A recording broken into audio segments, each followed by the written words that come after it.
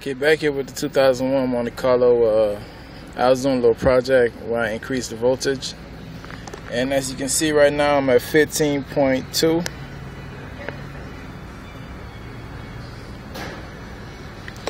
What I did was I went to Radio Shack. And when I got some diode, some uh,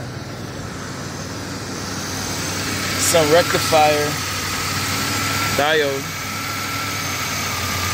3 amp, 50 P PIV, uh, two in the pack.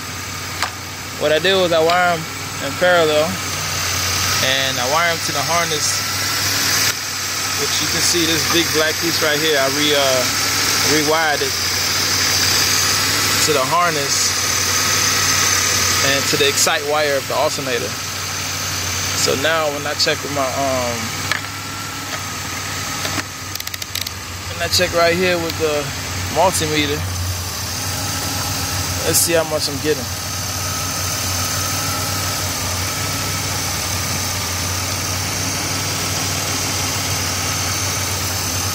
Multimeter currently has zero, and I plug it into the positive.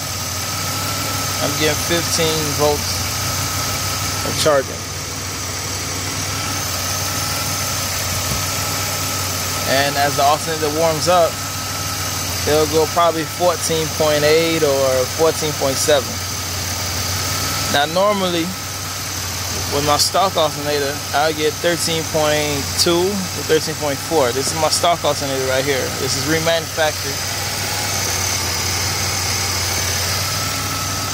And my uh, high output alternator is sitting right here on the workbench.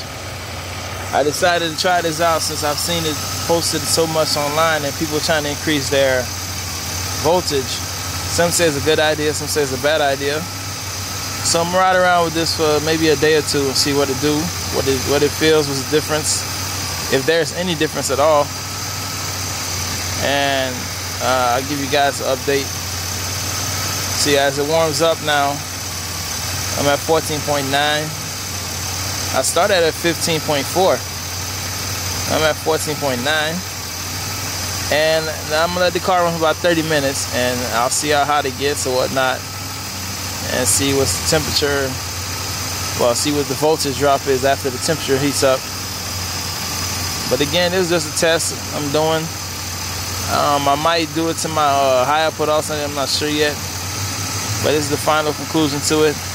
Got everything set up. I'm using my old alternator as the dummy alternator to do the test on. Voltage at 14.9 Usually I have 13.6.7 right about now when it's all warmed up. And I'm gonna drive it around for the day and see what it look, see what see what it does for me.